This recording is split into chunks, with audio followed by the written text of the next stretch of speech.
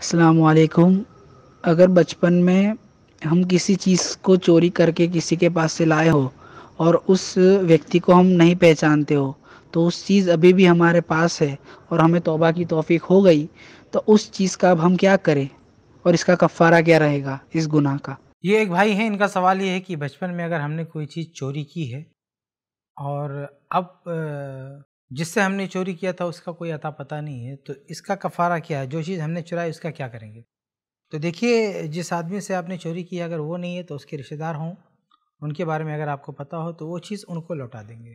क्योंकि जिससे आपने चोरी किया, उसकी मिल्कियत है, और अगर वो नहीं है तो फिर असल में वो चीज़ उसके वारसिन को मुंतकिल होनी चाहिए। तो अगर वो नहीं है तो उसके जो वारसिन हैं, आप उनको दे देंगे। अगर आपको मालूम ही नहीं है कि कहाँ गया, कुछ आता पता नहीं तो आप उसको सदका कर दें। ये हल है।